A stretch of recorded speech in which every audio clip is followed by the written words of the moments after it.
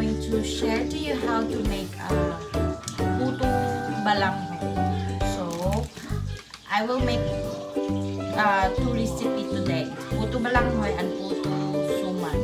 So nako diri using the banana leaves here. And then puto balanghoy. Okay, so I hope you will enjoy and learn something from this video. Thank you for wa- thank you in advance for watching.